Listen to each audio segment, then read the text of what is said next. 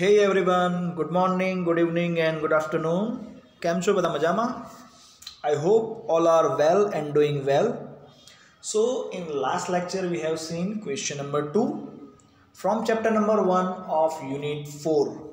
Now, we move on to the last question of that chapter number one.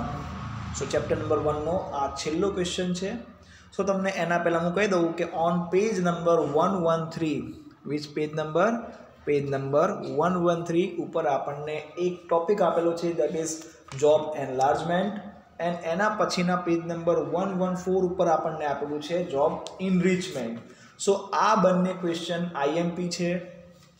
Okay so બંને question IMP છે અને સાથે સાથે એ તમારે એક વખત તો વાંચી જ લેવાના છે, પરંતુ આ બંનેને કમ્બાઈન કરીને તમને બુકની અંદર on page number one hundred and seventeen, એકસો ને સત્તર ઉપર આ બંનેનો ડિફરન્સ આપવામાં આવેલો છે. સો આ જે ડિફરન્સ છે, એ હું તમને અહીંયા ડિસ્કસ કરવાનો છું. સો જે તમે ડિફરન્સ કરશો, તો ઓટોમેટિકલી આ જે point number five job enlargement and point number six job enrichment એ બંને વસ્તુને કવરઅપ કરી લેશે.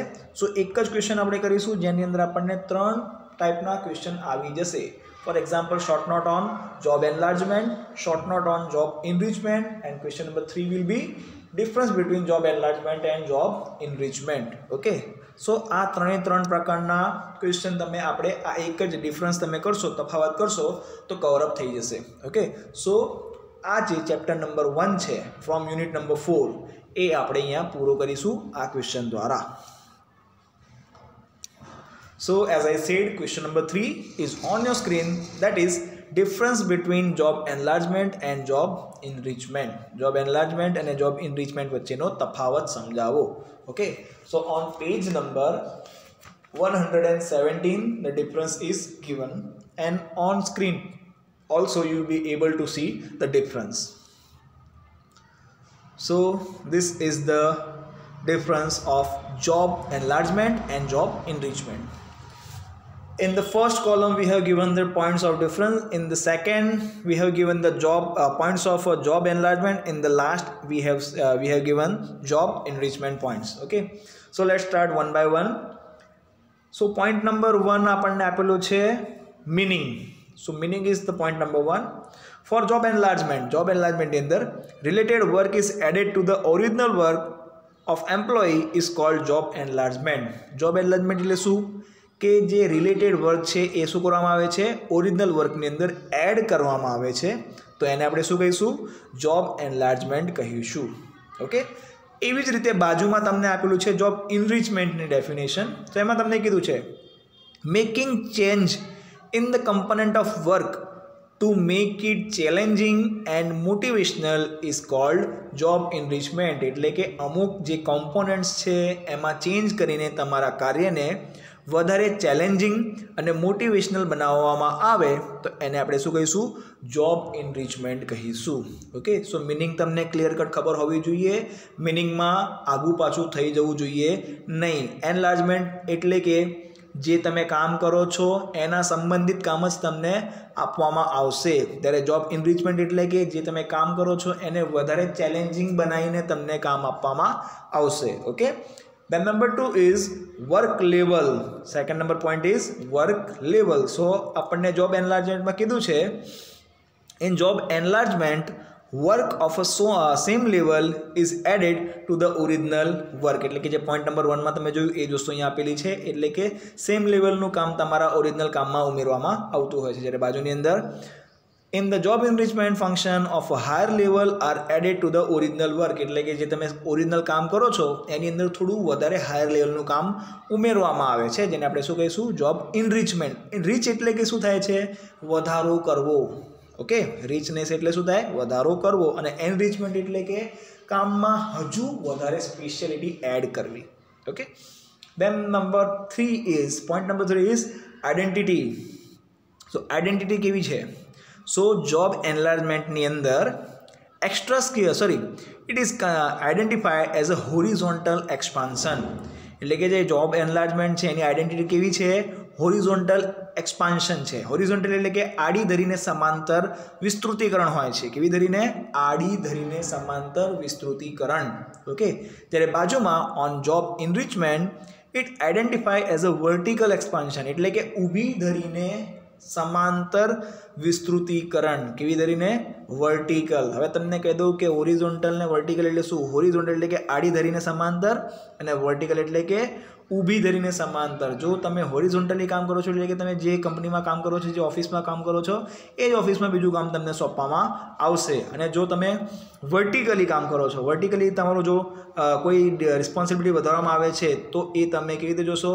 બોટમ લેવલથી કાં તો તમને મિડલ લેવલનું કામ આપવામાં આવશે મિડલ લેવલમાં હશો, તો તમને ટોપ લેવલ મેનેજમેન્ટનું પણ કામ આપવામાં આવી શકે છે. So this is the identity of both job enlargement and job enrichment I hope તમને આ વસ્તુ ક્લિયર થઈ ગઈ હશે horizontal and vertical then point number four is skill extra skill is not required in the job enlargement, while different types of skills are required in the job enrichment. Okay? તમે job એનલાર્જમેન્ટમાં છો તો તમને કોઈ ખાસ પ્રકારની skills development કરવાની જરૂર નથી. પરંતુ જોબ ઇનરિચમેન્ટમાં છો તો તમારી અંદર ઓટોમેટિકલી કામ જેવું સોંપવામાં આવશે તો ડિફરન્ટ સ્કિલ તમને વધેલી જોવા મળશે. નેક્સ્ટ વન ઇઝ રિસ્પોન્સિબિલિટીઝ જવાબદારીઓ. So in job enlargement employees responsibilities are limited up to the group of the work on the same level એટલે કે જે લેવલ ઉપર તમે કામ કરો છો, ત્યાં જે ગ્રુપ કામ કરે છે, તેમના સુધી તમારી જવાબદારી રહે છે. જ્યારે બાજુમાં, એટલે કે on job enrichment employees are responsible for the different group of work which are handed over એટલે કે તમને કીધું છે કે આ જે જોબ ઇનરિચમેન્ટ છે, જેની અંદર આપણે જોયું કે વર્ટી કેવું હતું? વર્ટિકલ એક્સપાન્શન હતું.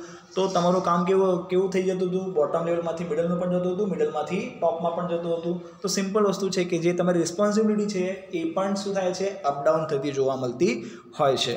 Okay then next one is training so in job enlargement employee has to do work related the original work hence extra training is not required એટલે કે જે જોબ એનલાર્જમેન્ટ છે, એની અંદર તમે એક જ ડિપાર્ટમેન્ટમાં કામ કરો છો, એને સંબંધિત જ કામ કરો છો, એટલે ટ્રેનિંગની રિક્વાયરમેન્ટ ઊભી થતી નથી. જ્યારે બાજુમાં extra training is required for the new work in the job enrichment કારણ કે જોબ ઇનરિચમેન્ટ તમે શું કરો છો? બોટમ લેવલમાંથી મિડલ લેવલમાં આવો છો, ત્યારે તમારું કામ આખું બદલાઈ જાય છે. તો એવા સમયે તમને શું જરૂર પડે છે?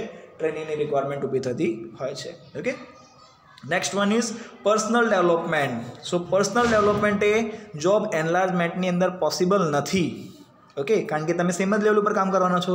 જ્યારે different abilities of employee develop due to the job enrichment પરંતુ જોબ એનરિચમેન્ટની અંદર આપણને શું જોવા મળશે? ડિફરન્ટ એબિલિટીઝ પણ ડેવલપ થયેલી જોવા મળશે. કારણ કે તમે જુદા જુદા લેવલ ઉપર કામ કરવાના છો. Okay next one is transfer in job enlargement transfer of an employee is not possible due to the same level કારણ કે તમે સેમ લેવલ ઉપર છો, તો જોબ એનલાર્જમેન્ટમાં તમને કોઈ પણ ટ્રાન્સફર જેવી વસ્તુ જોવા મળશે નહીં. જ્યારે in job enrichment transfer of an employee is possible for the different work પરંતુ જો તમે જોબ ઇનરીચમેન્ટમાં ધ્યાન આપશો, તો તમને શું કરવું પડે છે? જુદા જુદા લેવલ ઉપર કામ કરવા મળે છે. તો જેના કારણે તમને ટ્રાન્સફરની પરિસ્થિતિ પણ જોવા મળતી હોય છે.